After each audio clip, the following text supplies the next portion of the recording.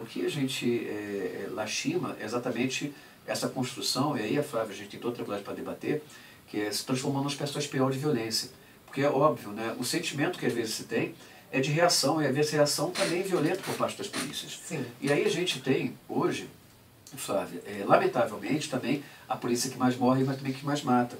Então a gente está nesse debate aqui para tentar ajudar a des... A gente está aqui nessa mesma mesa, trocando porque a gente quer ajudar a desconstruir esse processo. A gente fica também totalmente indignado quando existem situações é, absurdas, como o caso da Cláudia, como o caso do menino Eduardo Jesus, como casos mais antigos como o Maicon de 96, em que até hoje é, o policial não foi a julgamento, era policial militar, hoje é policial civil, né, como o caso do Juan lá em Nova Iguaçu, né, também do, uma simulação de alta resistência. Então a gente quer botar, falar isso abertamente, né, é, sem os preconceitos que, ah, você é isso, você é aquilo senão a gente não constrói. Por isso, Alcimar, a gente buscou na Flávia né, e aqui na, na, na, na Rádio Catedral trazer esse debate para a sociedade.